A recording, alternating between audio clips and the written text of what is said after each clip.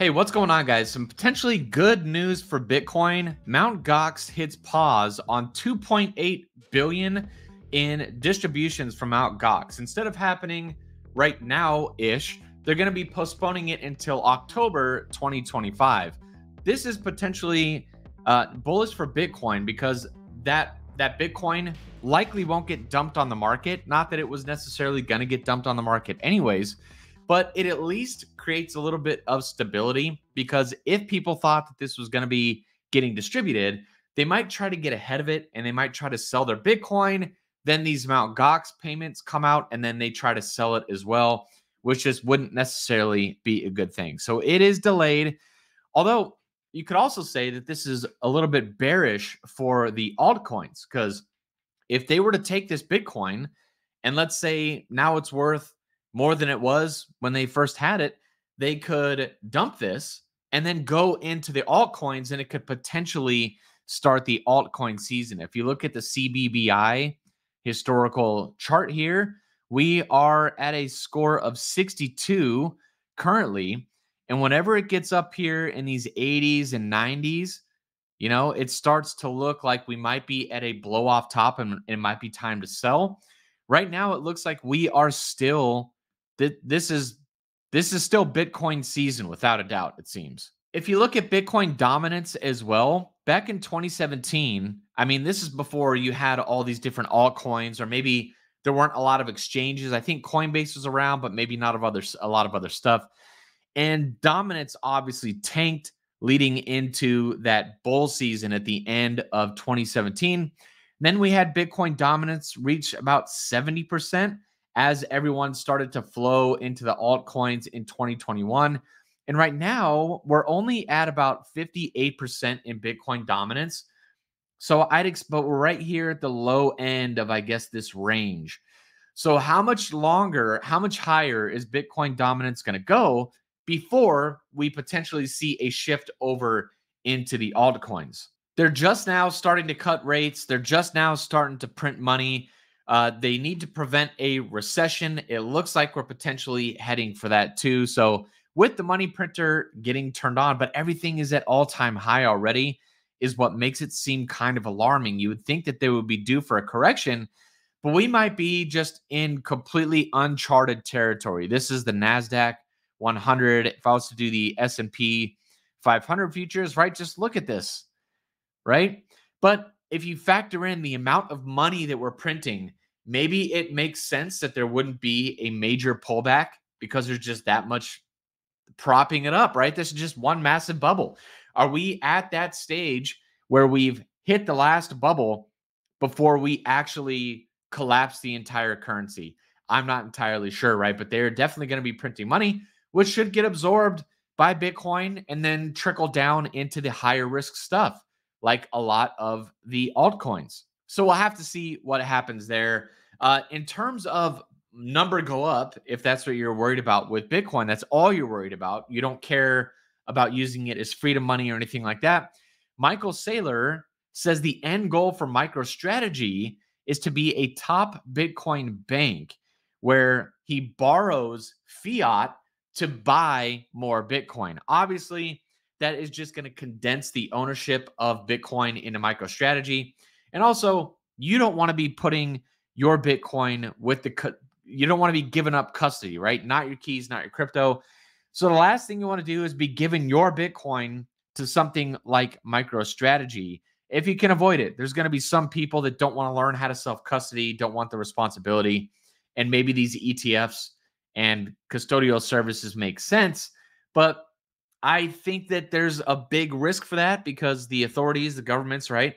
They hate Bitcoin they're tolerating it right now with these ETFs and whatever, but uh, they it is not good, right, for big government. They do not like a currency they can't control because they're using the dollar across the world, you know, as a bit of a it's as some people say, it's been weaponized, right?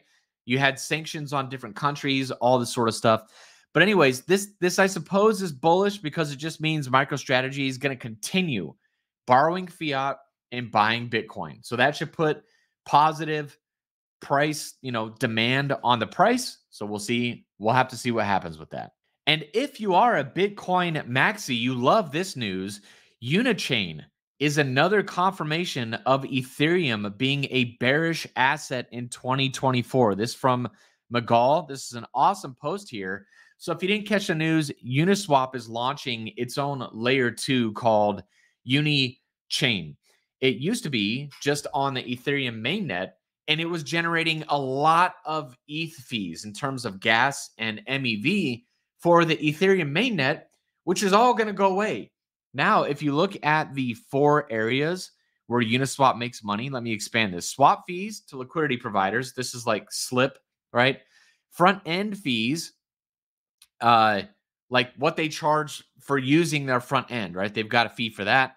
Then you've got transaction gas fees, which currently we're going to Ethereum mainnet to be burned which was good for the Ethereum asset, create, creating a little bit of scarcity.